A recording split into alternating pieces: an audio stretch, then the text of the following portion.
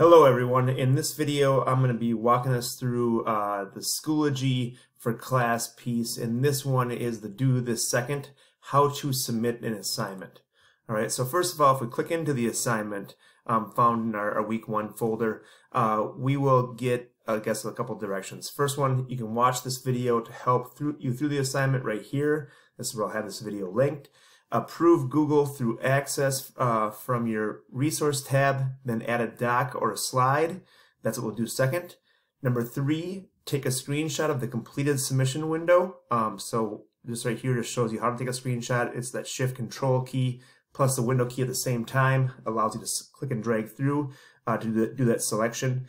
Um, and then lastly, submit the screenshot for your assignment submission. Um, the example is going to change a little bit because I'm making that right now. Okay, so uh, the first thing that we're going to do is we're going to go into our resources tab and just make sure that our Google Drive's working.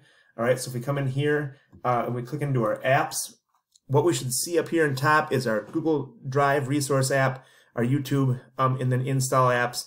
Uh, we want to make sure that we have Google Drive resource here and that we have it approved. All right, so if we select this, um, mine is already approved, uh, but I believe there is a, a, little portion right here we can add apps or add things to basically approve it to be able to be able to see all your all your Google Drive info. Um, this demo student's already been done, so I don't have that, and I can't remember exactly where it was.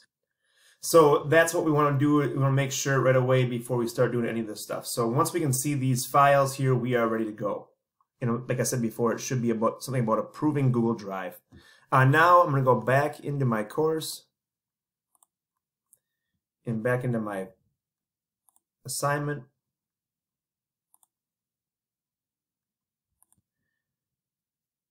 And the next thing I'm going to do is I'm going to add a doc or a slide by submitting my assignment. So when I come in here, once I've added my resources, I should be able to click in my resources tab and then go to my apps and find my Google Drive resource apps here and then select some um, either, I guess, this file that you have active here, whether it be a doc or whether it be a slideshow. I guess I don't have any slides here in this uh, demo student access. So I'm just going to do music,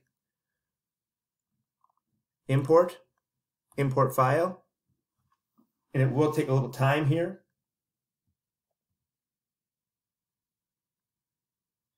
But now I have that assignment submitted. Now that we have that assignment submitted, the next thing I want to do here is just learn how to do a screenshot. So uh, for you guys, you want to do the control shift and then the Windows key to click, and then you're going to be able to click and drag in an area and select that. All right. And then we're also going to submit this screenshot here too. Um, I'm going to have mine saved. Yours automatically saves. Uh, I'm just going to let it be called screenshot 4. And then one more time, I'm going to hit resubmit assignment and I'm going to add a file this time so it's a different way to uh, get into your or add an assignment um, in Schoology uh, and then we're going to go in and click on that screenshot. You could be adding a screenshot here or a PDF, um, any kind of file type that you may have on your uh, Chromebook.